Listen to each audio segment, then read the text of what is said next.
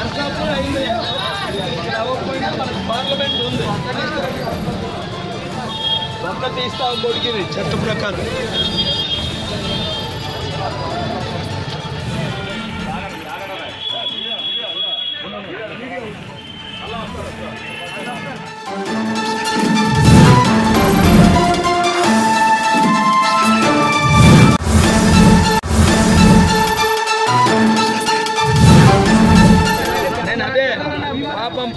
కళ్యాణ్ గుండెల్లో రైళ్ళు ప్రయాణం చేశాయి.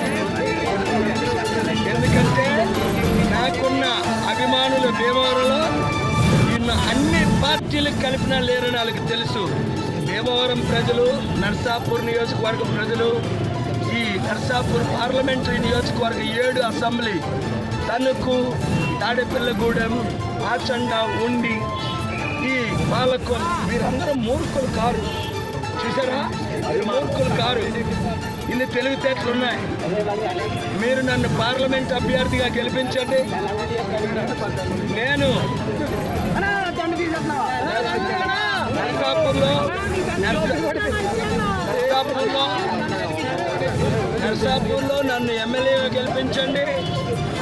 నన్ను ముఖ్యమంత్రిగా గెలిపించండి. ఇలా అవినీతి తీసి తొక్క తీసి వాళ్ళ నిజ స్వరూపాన్ని మనం చూపిస్తాం ఎప్పటికీ జడిచేది లేదు. వస్తానంటే వస్తా.